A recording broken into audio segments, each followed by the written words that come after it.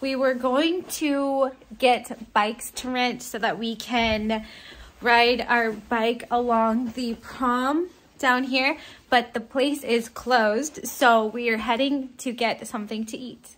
Before heading out to dinner, we're going to check out the pool. Oh, yeah, um, definitely, um, nice.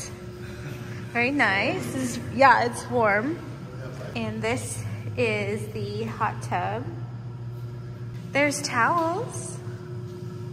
We will be passing on the hot tub. now we are going to go on an adventure to walk along the beach, the promenade. Our room is that one. We're thinking of having dinner at Maggie's on the prom. check out their menu first. After reviewing the menu, we decided to keep our options open.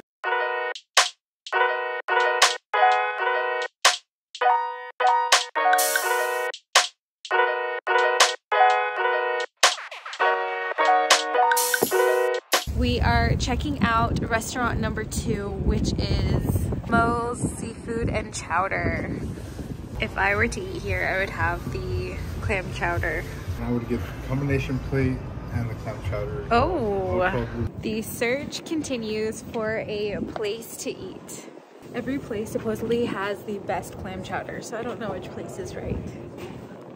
We decided to try Sisu Sisu Brewing. We're gonna give this place a try. Overall, the food was okay, I think. It was really good. Yeah, the fries are interesting. They're cut, they're in-house. So we are still on the hunt to find the best clam chowder.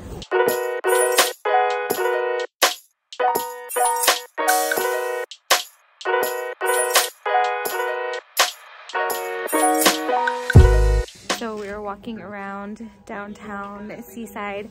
I just bought a fairy stone from the shop that I was just at. I'll show you guys that later. We're going to Sea Star Gelato. After trying a few of the flavors, they're out of a lot of them, but I'm doing the Reese's chocolate one, but it's really good. So Alex got a sundae this looks great.